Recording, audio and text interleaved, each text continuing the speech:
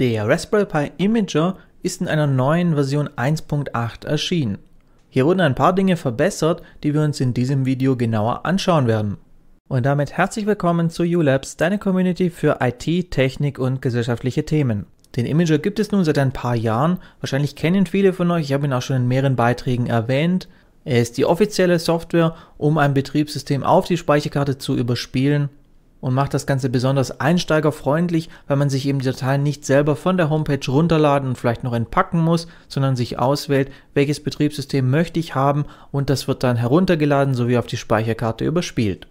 Zu den wohl umfangreichsten Änderungen gehört eine Änderung von den Knöpfen hier. Der erste Knopf, der war bisher immer beschriftet mit OS auswählen. Da hat man dann hier, das ist jetzt der hier geworden, hat man geguckt, welches Betriebssystem möchte ich haben. Soll es das offizielle Raspberry Pi OS sein oder ein anderes und wenn ja auch welche Edition? Da gibt es ja mittlerweile einige verschiedene. Stattdessen wird im ersten nun das Gerät ausgewählt. Wir gucken mal rein. Da habe ich jetzt die Möglichkeit zu sagen, was für einen Raspberry Pi habe ich. Teilweise auch ein bisschen gruppiert, zum Beispiel hier die Raspberry Pi 3 Modell, da gab es ja mehrere davon, die sind hier gebündelt und auch beim Zero gab es ja auch verschiedene, die kann man hier auswählen. Warum das Ganze? Ich habe es in anderen Videos ja schon erwähnt gehabt, dass bestimmte Betriebssysteme nicht mehr mit allen Pis kompatibel sind. Zum Beispiel unterstützt der Raspberry Pi 5 nur das neueste Raspberry Pi OS 12 Bookworm, erscheint hier auch in der Liste. Wir haben hier keinen Bullseye mehr, also kein Raspberry Pi OS Legacy. Anders sieht es aus, wenn ich jetzt den Vorgänger Raspberry Pi 4 auswähle, dann bekomme ich hier auch noch den Vorgänger vom Betriebssystem, also Version 11 Bullseye angezeigt, denn die ist mit dem 4er noch kompatibel, aber eben nicht mit dem 5er.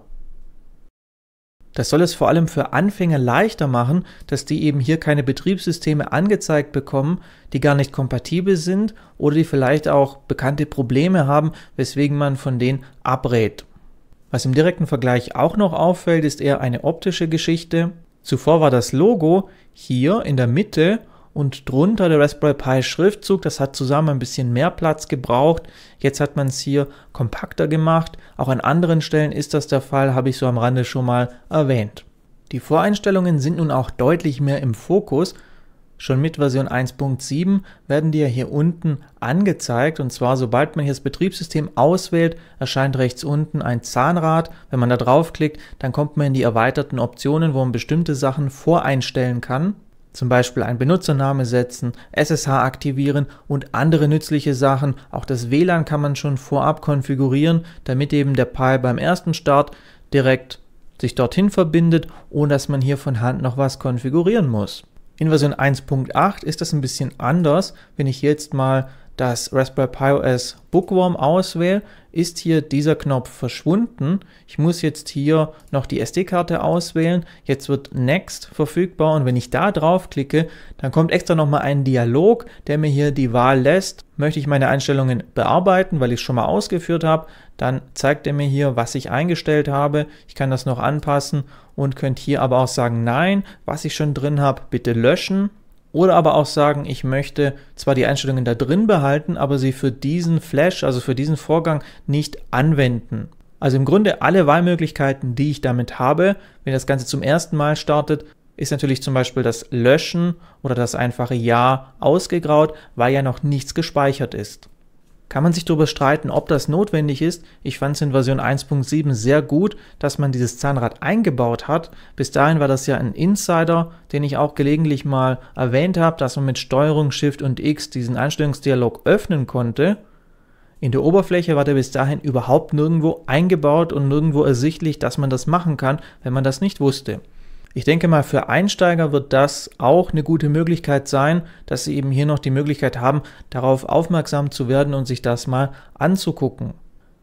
Gehen wir direkt mal rein. Ihr habt es vielleicht eben schon kurz gemerkt, hier haben sich auch ein paar Sachen verändert. Bisher war das eine lange Liste, wo man scrollen musste, weil mittlerweile doch einige Sachen hier eingebaut wurden, die man vorab einstellen kann. Um das übersichtlicher zu gestalten, gibt es nun verschiedene Reiter, einmal allgemein, dann Dienste, wo ich hier auch SSH aktivieren kann. Und hier sieht man schon die zweite Neuerung, dieses Textfeld für den SSH-Schlüssel, das ist nicht mehr einzeilig, das sieht zwar am Anfang so aus, aber sobald ihr hier eben was längeres eingebt, dann wird das automatisch auf mehrere Zeilen erweitert. Und so kann man eben Bei längeren Schlüsseln, gerade die älteren RSA-Schlüssel sind relativ lang, kann man den kompletten Schlüssel hier sehen, ohne da eben in dem kleinen Textfeld scrollen zu müssen oder sich das irgendwo anders hinzukopieren. In den Optionen, da sind die Einstellungen hingewandert, die vorher ganz unten waren, also das Tonsignal, ob man die Medien auswerfen, also anmounten möchte, plus eben die Telemetrie. Wenn man da nicht möchte, dass der Statistiken sammelt, kann man den Haken hier auch rausnehmen. Sobald ich mich hier dann für eine Option entscheide, beginnt das Überspielen auf die Speicherkarte, zum Beispiel Ja, damit er die übernimmt. Natürlich nochmal die Nachfrage, ob ich mir sicher bin, dass das die richtige ist, bestätige ich und jetzt wird das Ganze auf die Karte geflasht und bei Bedarf auch vorher heruntergeladen. Das ist jetzt nicht notwendig, weil ich das beim letzten Durchlauf schon gemacht habe. Die werden ja zwischengespeichert. Eine kleine, aber durchaus praktische Verbesserung ist der Fortschritt beim Entpacken von XZ-Archiven. Der ist nun etwas genauer geworden. Eine weitere Neuerung ist nach wie vor unsichtbar, wenn man sie nicht kennt. Man kann per Drag and Drop Archive oder Image-Dateien auf dem Imager ablegen und dann werden die geflasht.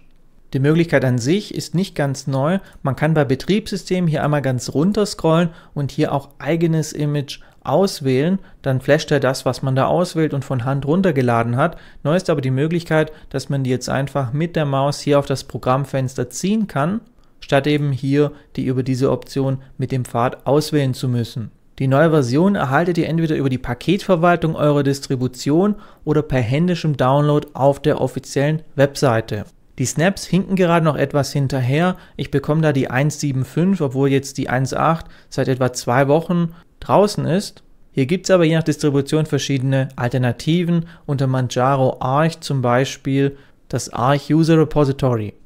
Eine Kleinigkeit vermisse ich und zwar eine Einstellungsmöglichkeit für den Standardbrowser in dem neuen Raspberry Pi OS 12 Bullseye. Ich habe dazu schon mal einen Beitrag gemacht und dort gezeigt, dass es jetzt eben einen Assistenten gibt, der euch beim ersten Start fragt, welchen Browser möchtet ihr, also Chromium oder jetzt den neuen Firefox. Und die dritte Möglichkeit ist hier eben noch, ich kann den nicht gewählten deinstallieren lassen. Sprich, wenn ich jetzt mich für Firefox entscheide, kann ich eben damit sagen, soll der Chromium deinstalliert werden oder sollen beide auf dem System bleiben. Dafür gibt es derzeit keine Voreinstellung, man müsste hier also gegebenenfalls das Ganze mit zum Beispiel Update Alternatives von Hand setzen und auf Wunsch die Pakete von dem anderen Browser, den man nicht möchte, mit apt oder apt-get entfernen. Es wäre wünschenswert, wenn man das auch mit dem Imager vorkonfigurieren könnte. Ich habe daher in dem GitHub Repository ein Ticket aufgemacht und da das Ganze beschrieben. Da sind wir gerade in der Diskussion, wie es damit aussieht. Bisher scheint es da noch keine Pläne zu geben.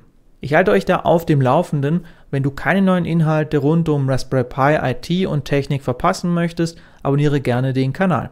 Abgesehen von diesem Detail finde ich der neue Imager 1.8 ist ein gelungener Feinschliff, der es Einsteigern noch einfacher macht, damit man hier eben nicht aus Versehen ein Image flashen tut, das am Ende gar nicht funktioniert.